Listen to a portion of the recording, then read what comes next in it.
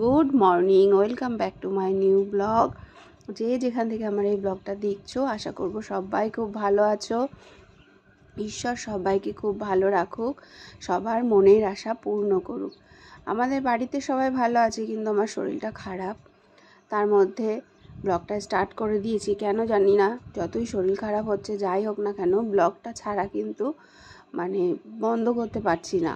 কোথাও গিয়ে যেন ভাবছি এটা একদম অঙ্গাঙ্গিভাবে জুড়ে গেছে আমাদের মধ্যে দিয়ে। সেই জন্যে অনেকটাই শরীর খারাপ, হয়তো দেখলে বুঝতে পারছ না, কিন্তু ভয়েস শুনে হয়তো বুঝতে পারছ। তবুও কষ্টের মধ্যে দিয়েও কিন্তু ব্লগটা আমি স্টার্ট করে দিয়েছি। তো সকালবেলা উঠে অ্যাট ফার্স্ট তো ফ্রেশ হয়ে যাচ্ছি আর আজকে নীলাঞ্জনার বাবা ঘুম থেকে উঠেই চলে গেছে। বাজারে যেহেতু মেয়ে দিবস, ছুটি রয়েছে ওনার, বলল থাক, সকালবেলায় কোনো খাবার দাবার তোমাকে বানাতে হবে না। আমি বাইরে থেকে খাবার সব নিয়ে আসব। তো এই যে সকালবেলা নিয়ে চলে এসছে ঘোল, তো বাড়ি থেকে আর কন্টেনার নিয়ে যায়নি, এইভাবেই নিয়ে চলে এসছে। ঘোল নিয়ে এসছে আর নিয়ে এসছে বাটার ব্রেড। তো উনি নিজে হাতেই সব গ্লাসে সার্ভ করে দিচ্ছে। তো সকালবেলা রান্নাবান্না ঝামেলা আমার আজকে আর থাকল না। আর ঘোলে কিন্তু প্রচণ্ড পরিমাণে পেট ঠান্ডা করে, সেই জন্যেই নিয়ে চলে এসছে। তো খুব ভালো লাগল আর এদিকে বাটার ব্রেড নিয়ে এসছে। তো এখন সবগুলো আমরা সব গুছিয়ে নিয়ে ব্রেকফাস্ট করতে বসে যাব। সকালে খাবারের কোনো ঝামেলা আমার থাকল না, কিন্তু কাজগুলো সব সেরে নিতে হবে একের পর এক। অনেকগুলো কাজ রয়েছে। সংসারে কাজ তো কম নয়, কাজগুলো সব করে নেব। তার আগে আজকে ওষুধ খেতে হবে বলে একদম আগে ব্রেকফাস্টটা করে নিচ্ছি। দেখো বাটার ব্রেড আর সঙ্গে হচ্ছে ঘোল। তো এটা দিয়েই আজকে ব্রেকফাস্ট করতে দেখো, বসে গেছি আমরা তিনজন নীলাঞ্জনার বাবা বসে গেছে, এবার আমিও বসে গেলাম। ব্রেকফাস্টটা করে নিয়ে তারপর হালকা পাতলা কাজগুলো করব, আমাকে বলছে বেশি চাপ দিয়ে কিছু করতে হবে না।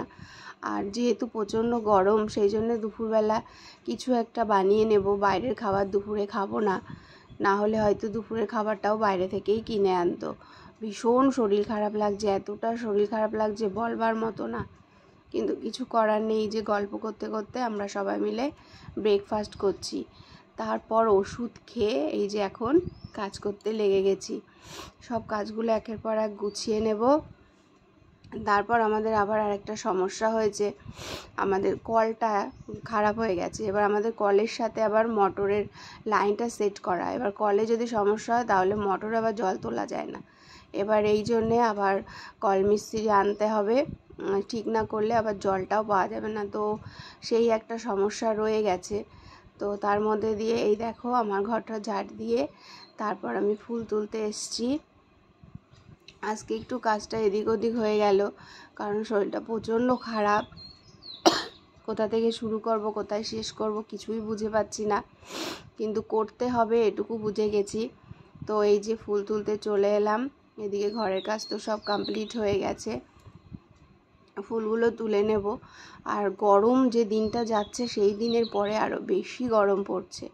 তো এই গরমের মধ্যে মানে প্রত্যেকেই সুস্থ থাকলেও কিন্তু অসুস্থ হয়ে যাচ্ছে।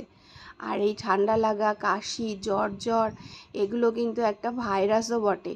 শরীর গরম যেরকম হচ্ছে, কারোর যদি ঠান্ডা লাগছে তো তার কাছাকাছি বা তার নিঃশ্বাস যদি আসছে তো সেও কিন্তু এফেক্টেড হয়ে যাচ্ছে। এই একটা বড্ড বাজে ব্যাপার। কারণ আমি যেরকম সাবধানে ছিলাম, মনে হয় না যে আমার এরকম শরীর খারাপ হওয়ার কোনো কথাই ছিল, কিন্তু এর মধ্যে একজন থ্রেডিং করতে এসেছিল, ওনার ঠান্ডা গরম জ্বর জ্বর ছিল। এবার ওই ভাইরাসটা মনে হয় আমার মধ্যে ঢুকেছে, না হলে আমি যথেষ্ট সাবধানে থাকি।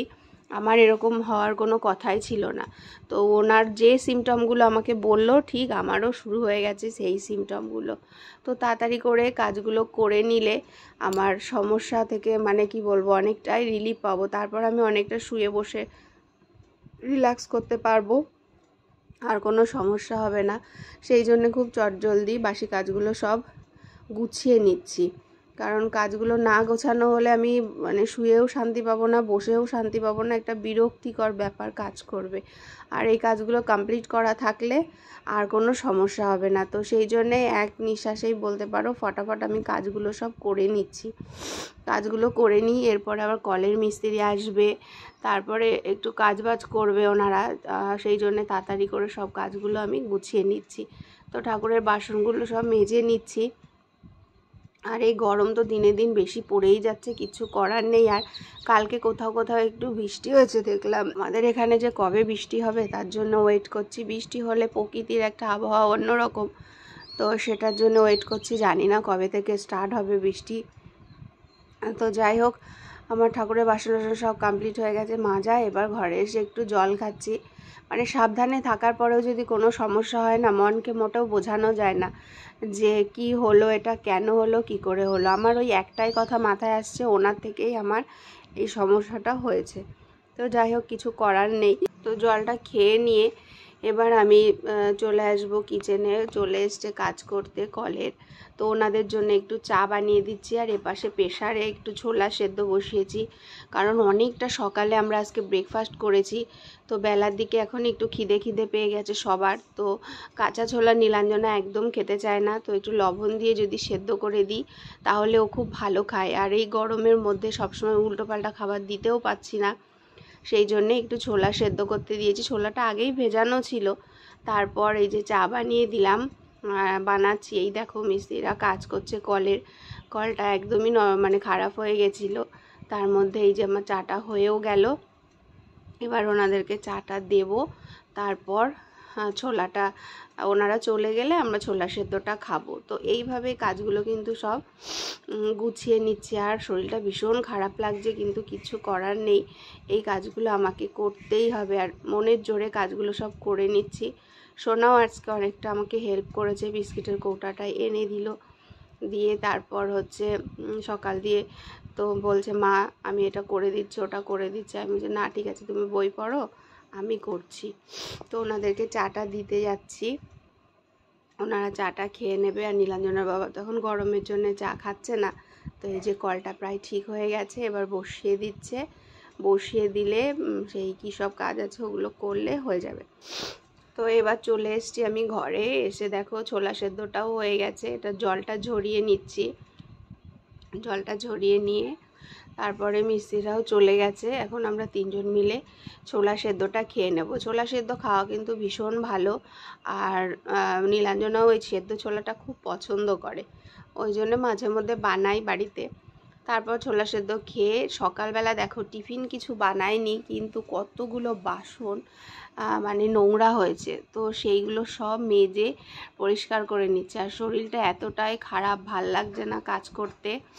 তবুও করছি। জানি না নেক্সট দিন ব্লগ দিতে পারব কি পারব না, কারণ এত শরীর খারাপ লাগছে, কিছুই ভালো লাগছে না। তার মধ্যে দিয়েও কিন্তু এটা যেহেতু আমার একটা কাজের মধ্যে পড়ে, সেই জন্যে আজকে অনেক কষ্ট করে ব্লগটা হচ্ছে শ্যুট করেছি। তো এই যে অনেকগুলোই কিন্তু বাসন বেরিয়েছে কাপ গ্লাস এই সব অন্য কিছু না। তো সেগুলো সব মেজে তারপর গুছিয়ে নিচ্ছি, কারণ রান্নাঘরটা পরিষ্কার করা থাকলে যখন ইচ্ছে রান্নাঘরে এসে কিছু একটা বানিয়ে নিতে পারব। তারপর ওই ছোলা সেদ্ধ জলটাও ওভেনের উপরে পড়েছিল, সেই জন্য ওভেনটাকেও একটু ক্লিন করে নিলাম। নিয়ে তারপর হচ্ছে আমার রান্নাঘরটা পুরো ঝাঁচকচকে থাকবে আর দেখবে রান্নাঘর পরিষ্কার থাকলেও যখন ইচ্ছা তখন এসে দেখতেও ভালো লাগে, কিছু বানাতেও ভালো লাগে। আর রান্নাঘরটা যদি নোংরা হয়ে থাকে তাহলে কিন্তু কোনো কাজই করতে ইচ্ছে করে না। সেই রকম রান্নাঘরটা পুরো ঝা চকচকে করে রাখলাম। তো এবার যখন ইচ্ছে হবে তখন রান্নাঘরে এসে দেখি কি করব, আজকে কিছু একটা বানাতে হবে, কিন্তু কি যে করব আজকে ভালো লাগছে না। এই শরীর নিয়ে কিছু রান্না বান্না করতে একদম মন চাইছে না। কিন্তু আজকে যেহেতু ওর বাবার ছুটির দিন, মনটাও ভীষণ খারাপ লাগছে যে একটা দিন ছুটি, সেদিনটাও ভালো মন্দ রান্না করে দিতে পারছি না আমি, কারণ এতটাই শরীর খারাপ। সকালটা তো উনি নিয়ে চলে আসলো। তারপর দেখো বাসন টাসন যেহেতু মেজে রেখেছিলাম, নীলাঞ্জনা বলল, মা, আমি পুজোটা দিয়ে দিচ্ছি। তোমার আর পুজো দিতে হবে না, সেই জন্য মেয়েটা আজকে পুজো দিতে বসে গেছে। সোনা পুজোটা দিয়ে নিক, আর এইদিকে আমি ভাতও বসিয়ে দিয়েছিলাম। আজকে দেখো সেদ্ধ ভাত করেছে, আলু সেদ্ধ, ডাল সেদ্ধ আর ডিম সেদ্ধ করেছি। এটা লঙ্কা, পেঁয়াজ দিয়ে, কাঁচা তেল ঠেল দিয়ে মেখে নিচ্ছি। খেতে সবাই খুব ভালোবাসে, কিন্তু যেহেতু আজকে ছুটির দিন আর দুপুরবেলা এই টাইপের খাবার, তো কিছু করার নেই। এতটাই শরীর খারাপ, দাঁড়িয়ে দাঁড়িয়ে রান্না করার মতো পরিস্থিতি নেই। এই গরমে সবাই এসি বা পাখার নিচে আয়েস করছে। আর আমি দেখো চাদর গায়ে দিয়ে শুয়ে রয়েছি। তো আজকের ব্লগটা অনেক কষ্ট করে ভয়েস দিলাম। তো ভালো লাগলে অবশ্যই লাইক, শেয়ার, কমেন্টস করো, সাবস্ক্রাইব করো। নেক্সট ব্লগে দেখা হচ্ছে, বাই।